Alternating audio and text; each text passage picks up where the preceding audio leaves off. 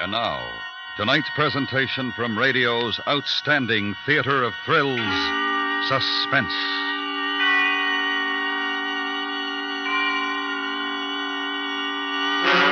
Tonight, the story of a man who lost his shoes. And when you're suspected of murder and you've got to run for your life, and the temperature is in the 90s, why, then you're correct in saying it's too hot to live.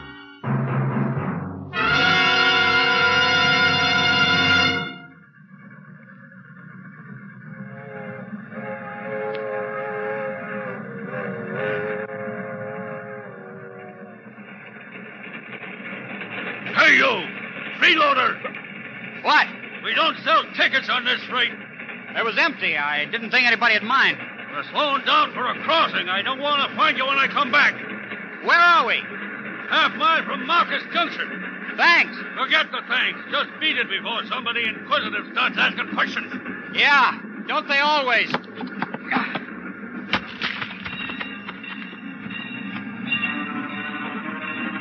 The train rolls by slowly, and the crossing bell warns that death is here. I don't recognize it, though. I walk towards Marcus Junction, towards death.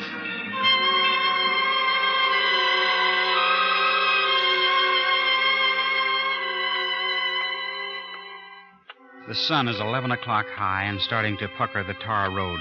I'm heading in. Sweat is beginning to streak through the old suntan uniform, and my shoes are sucking tar every time I lift them. The sole of one boot busts loose and starts flapping against the road. That's bad. A drifter needs a good pair of shoes, and I'm on the drift.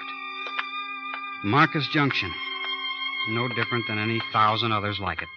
About a mile square of small buildings all pasted together. I walk a couple of blocks without finding a shoemaker. The town is almost empty this Saturday morning. And then a door opens ahead of me, and a big man steps out. Really big, both ways. Big high and big wide. He's wearing steel rimmed glasses screwed up tight above the pug nose of his round face, and six full inches of hat brim circle the pink flesh like a halo. Why, good morning, son. My name's Benjamin. Benjamin Martin. Good morning, Mr. Martin. Uh, could you tell me. Benjamin, son. Call me Benjamin. That's the handle that shakes this pump. yes. What's yours, boy? Jeff Casey. Jeffrey or Jefferson? Jefferson. Jefferson. That's a good name. Now, um, don't think I'm changing the subject, but where could I get this fixed, Benjamin? Huh? Well, pretty socks. They are at that. But who'll take care of this shoe? Yeah. I'm going down to Stacy's for a Coke. Shoe fixer's right next door. Come along, Jefferson. As we turn, I see his left side, gun holstered high up on his hip, and the gold star with the word sheriff glinting in the sunlight. Still wearing your old army clothes. Yeah, those duds wear like iron. You just throw 'em away when they start to rust. The uniforms wear forever. These have seen their last war. Well, what were you in, boy? Air Corps, captain. Pretty uniform, sweet pay, and lots of respect. Yeah. You miss it, Jefferson? Maybe I do. What are you looking for now? I'm not looking for anything, just uh, living, more or less. Yeah, a man ought to find more to do with his life than that. It's all the same to me. I could die today, and it wouldn't make any difference to me. Or anyone else. Yeah, you got a bad taste in your mouth, but you'll spit it out someday. Yeah, how do you like this weather? If it gets any warmer, it'll be almost too hot to live. Uh, in a manner of speaking, you understand. Yeah, I understand. well, here's a shoe repair. I'll be next door. Leave your shoes and waddle in on them pretty socks of yours. I'll buy you a drink. Coke or coffee? The shoemaker tells me that my shoes will take a couple of hours, so I start next door to join Benjamin. I don't know, maybe I'm feeling pretty good, but I pull an old schoolboy trick of mine. I take off my socks, roll them up, and throw them on the counter with my shoes. Then I walk outside to feel the cool, shaded cement prickle up through the bottom of my bare feet. Through the store window next door, I see the four people in the restaurant. Benjamin waves for me to come in. Inside the entrance, a blond sliver of a man who's showing about three inches of wrist and shin bone below the edges of his clothes. The uh, squat moon faced grill man has his pop eyes focused intently on the argument. His flabby hands, purple red from too much hot soapy water and frying grease, make fluttering passes at a fly. Now, look, I want you to get out of here once and for all. I go in, brushing past the argument, walk over to Benjamin, and sit on the next stool. I shall return. Though she Hi, Jefferson. Hi. Benjamin. Came for the coffee. In a minute. Rachel's about finished. And all her sins must find her out. She's a Jezebel and kin only to the devil. Yeah, yeah, yeah, yeah, yeah. You'll find it on the menu next week. Now find yourself a street corner and get it out of your system. Uh, you are bad. Bad beyond all hope. See you around, Pop. I don't know. The girl plays rough. Well, that's just Rachel's way, Jefferson. Yeah, I see you lean to bare feet. What's your friend having, Buster? Benjamin, Rachel, Benjamin. Maybe smart to tack nicknames on people, but my folks figured me for a Benjamin, and I like it that way. Sure, Buster. What'll it be, soldier? The black coffee, lady. And don't let the uniform throw you. I'm no soldier anymore. The Hollywood line of her mouth twists up into a lopsided kind of inviting grin as she turns to get the coffee. I watch the dark shadows that follow the rippling lines of her uniform when she moves. Rachel is quite a woman. All woman. Coffee, barefoot. Like you, soldier. Hey, your friend's real pretty, Buster. Yeah, you think everybody's pretty. Oh, but he's a doll. You be around long, soldier? Oh, long enough to get my shoes fixed, Rachel. Rachel. That name doesn't go with you. It's a name. Too bad you're moving on so soon. New faces are scarce around here. Especially one like yours. Well, I got some lauding for us. Will I see you before you go, Jefferson? I'll find you, Benjamin. Do that, boy. Eee, I'm afraid to face that heat out there. Now, you behave yourself, Rachel. Yeah, yeah, yeah. Swell. You, uh, like playing it tough? Under it all beats a heart of gold. Tell me what it's like in the world outside, soldier. Hey, Rachel, why don't you put up some more coffee? Tend to your bacon, lover. I got company. Your boyfriend? Lover boy there? Oh, no, that's Kenny. He's keeping company with a hot grill. You ought to talk about me like that, Rachel. It's not right. Well, then don't bother me while I'm with my friends. Hey, soldier, I'm off about now. Let you and me go out to the carnival for a couple hours, huh? You let her alone. Don't go with her, you hear? Yeah, I hear, Kenny. I'd like to, Rachel, but how do I go barefoot? Oh, forgot. Got any other ideas? Yeah.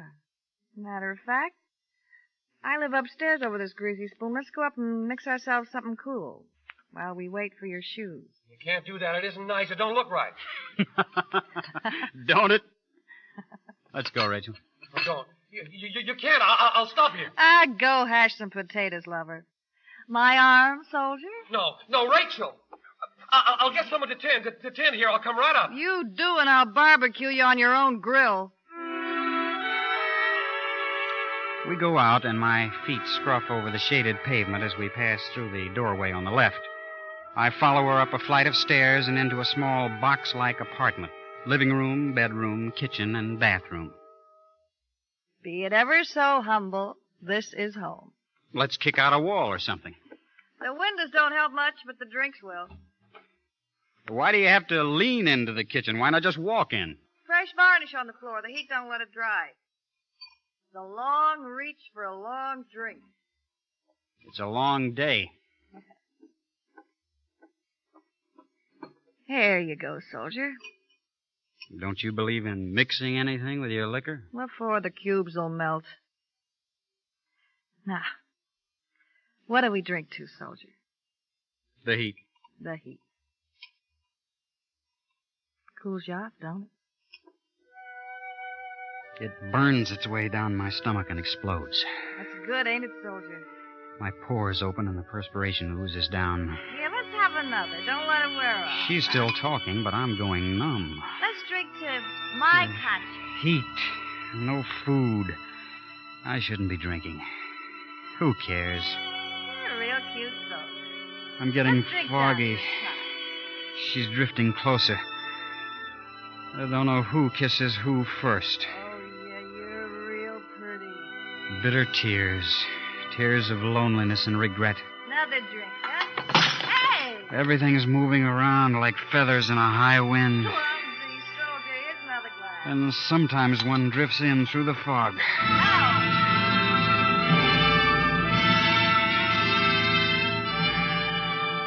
We're drinking. How many? I don't know.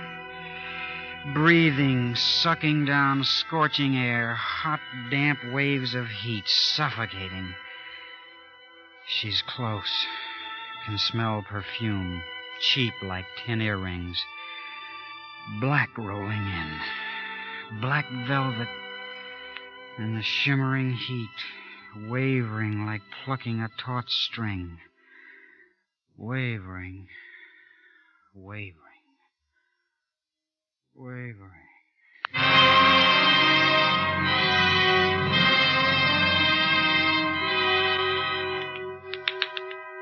There's a steady sound, sharp, smart little cracks. All right. I tear my eyelids apart, and a flash of ceiling whirls by. All right, come on. A purple red mass is coming toward my face, and when it hits, There's a sound and the ceiling moving the other way. A Now, why don't you? frozen kind of pain is seeping through to my brain, and I, I can make out a voice Wake now. And laugh.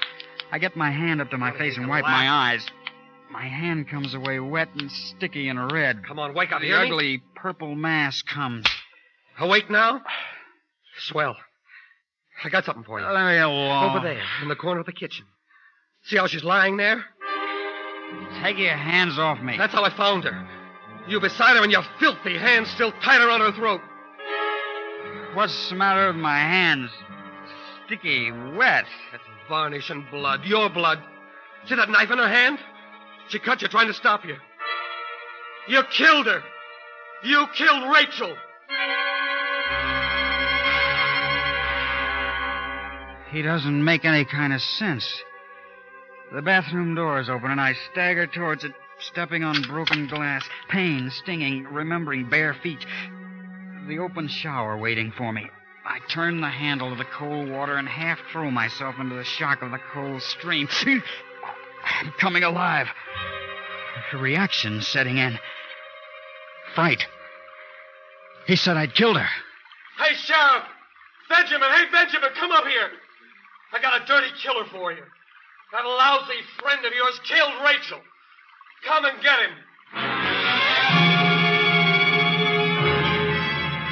Kenny shouting out the window in the other room to Benjamin. I gotta get away. Gotta think. What happened? What? I get through the bathroom window, out into the glare of the sun, and my feet hit the scalding car, the marquee. I scramble across it, drop to the street. A narrow alley, and I'm running down it toward the fence that blocks off the far end. A garbage can near the fence, and a woman putting something into it. I jump, reaching for the fence. Hey, what do you think you're doing? Let me go. Let go. Pick up that garbage, you crazy. Let go. I didn't do it. What do you mean? I saw you kick it over. I'm not going to clean up that mess. I didn't kill her. Take your hands off me. Why would I kill Rachel? Why would you kill? All right, Jefferson. Come along and tell me why you killed Rachel.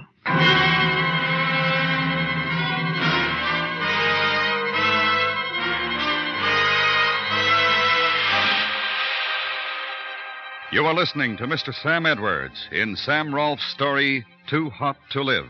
Tonight's presentation in radio's outstanding theater of thrills, Suspense.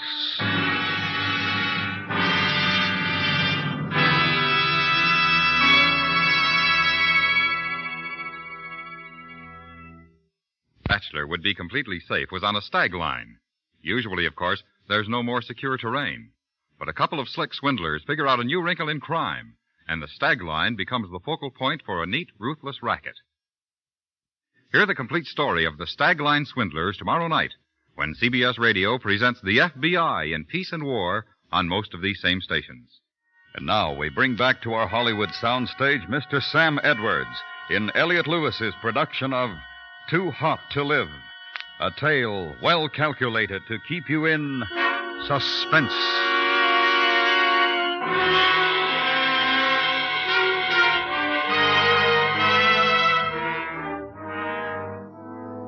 Benjamin is leading me out into the sweltering street again. The sun burns into my flesh, accusing, as if to cause the murder to flow out of my open pores. And Benjamin walks beside me again, not holding me, just talking, asking questions, which I can't answer. Why'd you do it, son? I didn't kill her, Benjamin. I, I don't remember, but I. You don't sound sure, Jefferson. Don't you know? We were drinking. I, I blacked out. Drunk unconscious. You could still move around. Could do what was done in that apartment. But I couldn't. Why would I want to do a thing like that? Yeah, maybe you played too rough. Maybe she tried to stop you, cut you with a knife. Why'd you run away? I. I was scared. Kenny said my hands were around her throat. Blood, varnish, heat. Remember anything? Rachel. Sprawled on that gummy floor. I, I can't remember. Yeah. I'll have to lock you up, and then I'll go back and have a good look around. Maybe I'll find something. And if you don't. Rachel's dead, Jefferson. It wasn't premeditated, but that don't excuse it. She's still dead.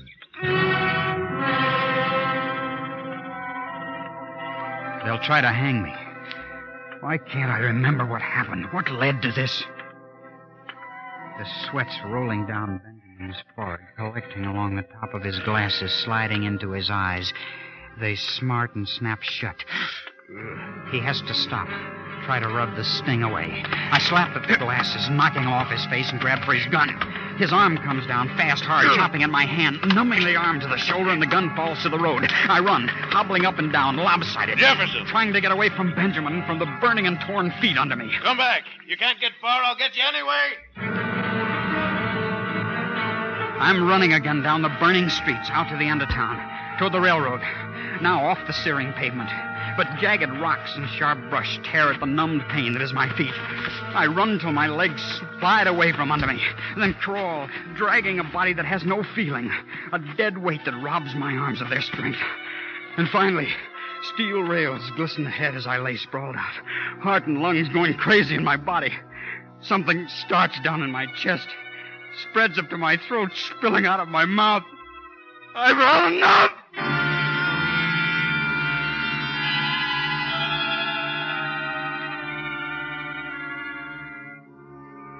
An hour has passed, and the sun is moving away towards the west. No trains have passed, but it's all right. I know what I have to do now. Find Kenny, and one way or another force him to tell the truth, for he must be lying.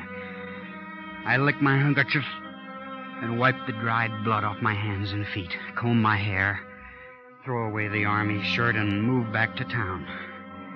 Stepping gently, I make my way up the back streets to the restaurant. Pulling my pants down low to cover as much of my bare feet as possible, I step inside. There's a stranger behind the counter. Well, howdy. Oh, hi, uh, where's everybody in this town? Oh, most are out at the carnival. Some are looking for a killer roaming around.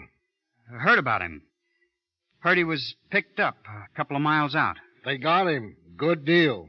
You know, Rachel worked here. Yeah, I know. Say, uh, where's Kenny? Oh, he's out at the Clovis place. He wanted to be the one to tell Rachel's folks about, uh, you know. I, uh, I guess I ought to go out there and pick him up. I don't know the place too well. How, how do I get there? Oh, just follow this road down. About a half mile out of town, you'll find a dirt cutoff. Can't miss the mailbox. Thanks.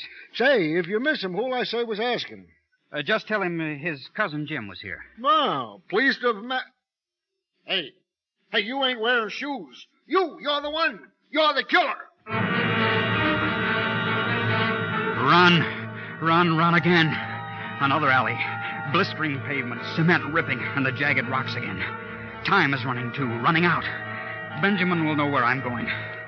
Out to the main highway, pants pulled low and thumb up in the air. Here comes my ride. He's gotta stop. Gotta stop. Please. That fine, Sid. Uh, thanks, mister. Thanks a lot. You're welcome, but I'm not going far. Uh, I, I'm just going out to the Clovis Farm. That's about. I uh, know the place. Why are you going there now? I'm a cousin of Kenny's. I'm going to meet him out there. Oh, I don't place you. I'm visiting from back east. You're not wearing shoes. yeah, uh, that's a silly thing. I lost my shoes while wading barefoot in a stream. It didn't help my feet any. What stream is that, fella? Uh, you know the one. Uh, I don't know the name of it. It's uh, it's out there in the woods. Yeah. I think I know the one. This is the dirt road you want. House is over the rise. Thanks again. See ya.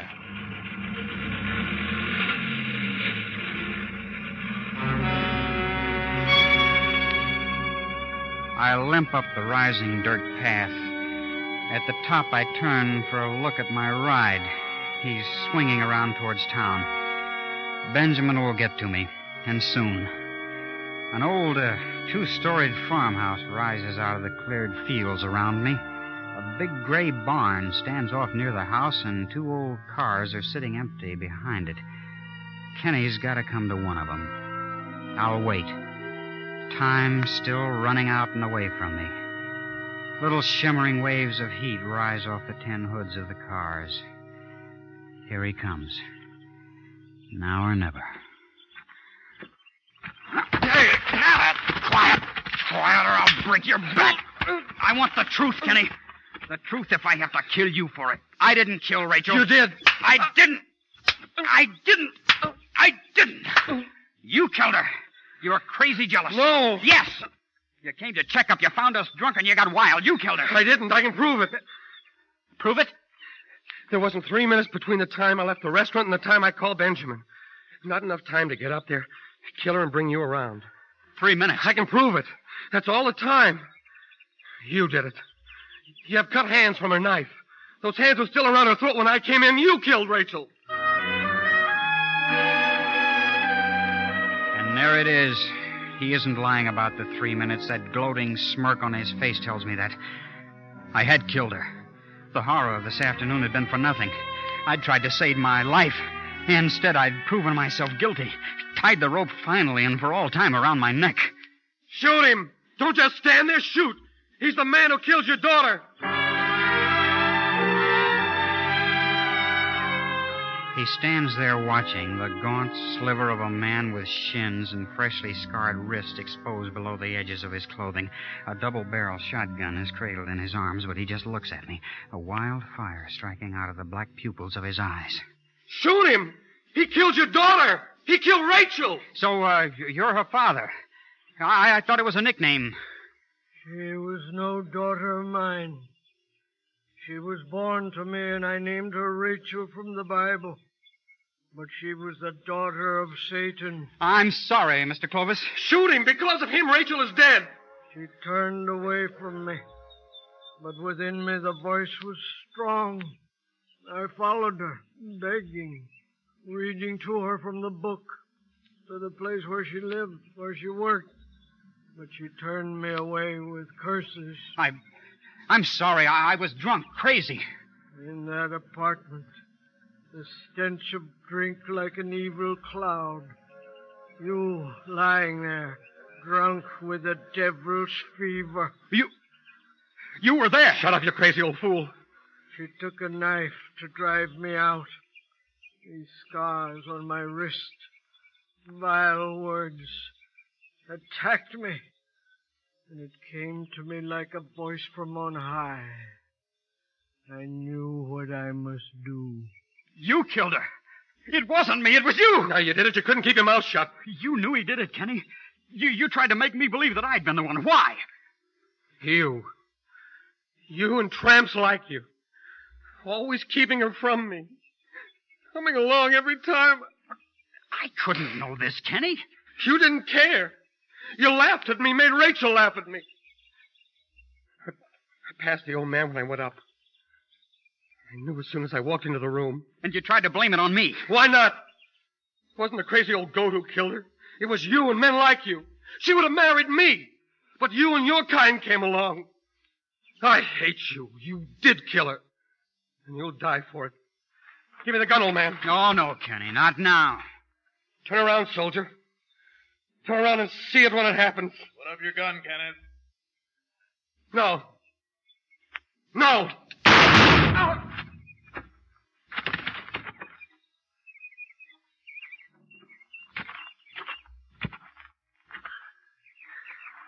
All right, Jefferson. We'll go home now.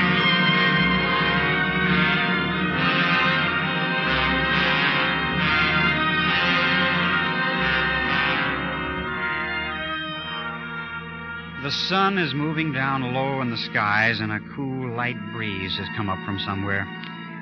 I'm leaning back on the front seat beside Benjamin, breathing deeply, evenly, feeling the goodness of just living seep through. In the back seat, old man Clovis sits, staring ahead, not even aware of the blanket wrapped body of Kenny lying on the floor at his feet. If you hadn't been so eager to run, I could have saved your feet a lot of wear. I knew you weren't a murderer, son. You knew? Sure, I went back to the apartment. The whole story's there in the varnish on the kitchen floor. No marks of bare feet around the body, but lots of hobnailed boot prints. You cut your hand on broken glass in the living room. It bled. and I was running. Yes. Yeah. For a man who don't care whether he lives or dies, you sure got lots of jackrabbit in your legs. What a day. It's been quite a day, Benjamin. Sure's been a scorcher, ain't it? Glad to see the sun going down. You know, on a day like this, it's almost too hot to live. Don't say that, Benjamin. It never gets that hot.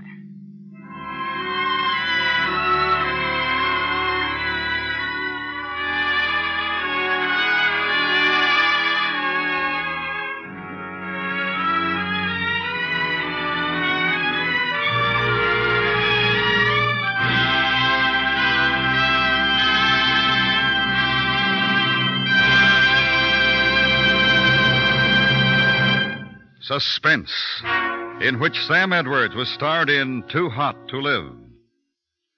Next week, the story of a woman who had a strange visitor. A man who wanted to spend a day with her, just waiting until her husband got home from work so that he could kill him. It's called The Tip. That's next week on Suspense.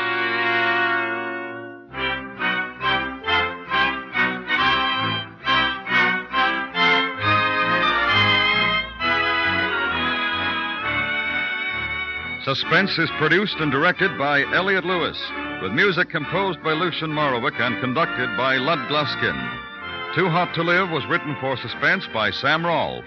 In tonight's story, Sam Edwards was heard as Jefferson and Paul Frees as Benjamin.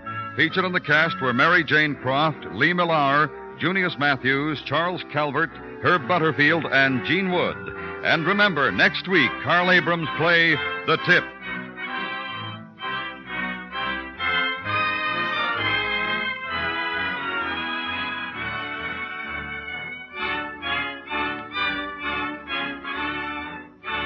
Tragic story of an unidentified boy hit by a car after hitching a ride on the back of a truck is told tomorrow night on CBS Radio's 21st Precinct. Police of the 21st Precinct tracked down the boy's identity through his sweater marked Red Tigers.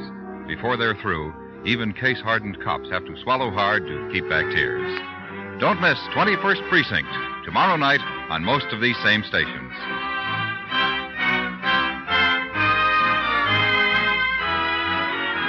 He really clicks against criminals, crime photographer on the CBS Radio Network.